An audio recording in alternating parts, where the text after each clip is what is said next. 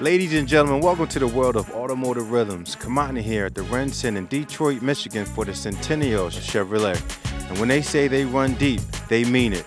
From the original Corvette Stingray to the En-V, which is electric network vehicle, they're launching an array of new vehicles that's going to be sustainable and electrified.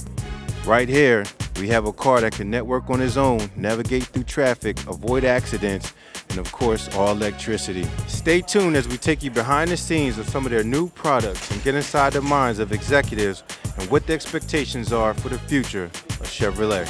And now, for the first time, we would like to show you the new Chevrolet Spark. What we're bringing out in calendar year 2013 will be our Chevy Spark. It's a vehicle we already have in production today, smaller than a Sonic, really well sized for, for city dwellers, urban, megacity type of areas. And we will have a pure electric version in calendar year 2013.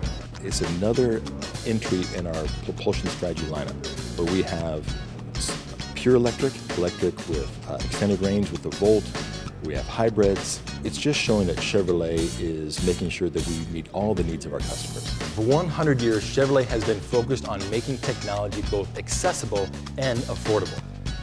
The Chevrolet En-V concept will help continue in that tradition.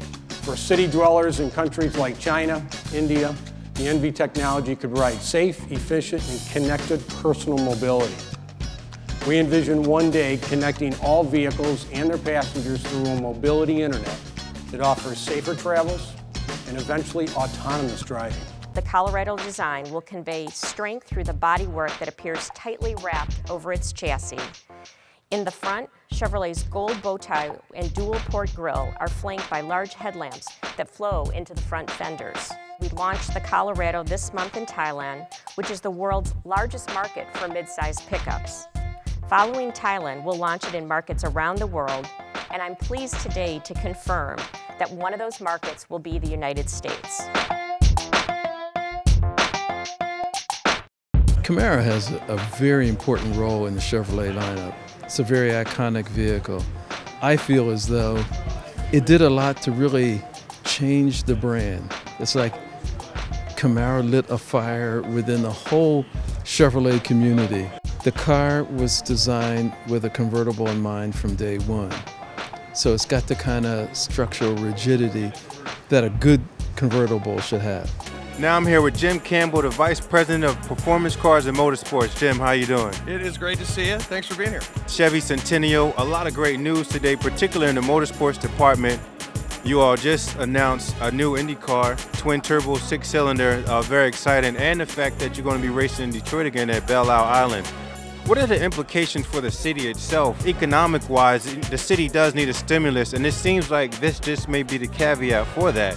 Well, there, there's no there's no doubt that when the uh, Detroit Grand Prix existed previously, they ran it two different years. There was definitely a positive economic impact.